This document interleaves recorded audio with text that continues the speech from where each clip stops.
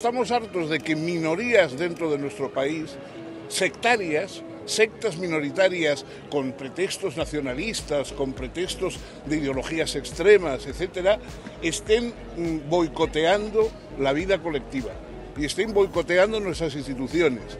Y por el interés espúreo de algunos gobernantes que quieren ser eh, investidos presidente caiga quien caiga, entonces estamos sacrificando el país y adaptando mm, medidas verdaderamente eh, estrafalarias y peligrosas como la amnistía o hablar de autodeterminación como si fuera una cosa que corre por el mundo y que todos los países la tengan en su constitución. Frente a eso hay que mostrar una postura firme. Hay que estar siempre preparados a protestar, a salir a la calle. Las cosas o se defienden o se pierden. Y yo creo que no debemos perder las cosas que aquí se, se están amenazando, de modo que defendámoslas.